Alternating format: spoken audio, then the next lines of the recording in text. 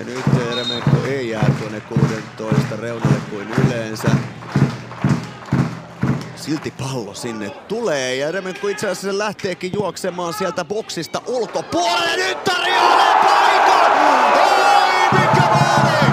Matteo Ortiz iskee, iskee Hongalle ja tässä on kyllä ratkaisun makua myös tässä maalissa. Upea kulma potku kuvio. Upea on kuvio ja Eremeikon syöttö. Ja Ortiz iskee Veikkausliigan uransa ensimmäisen maalin. Hän lähtee sinne boksiin ja sitten boksista ulkopuolelle. Ja mutta katsokaa tätä syöttöä, se on upea. Nyt Vepsun puolustus nukahtaa.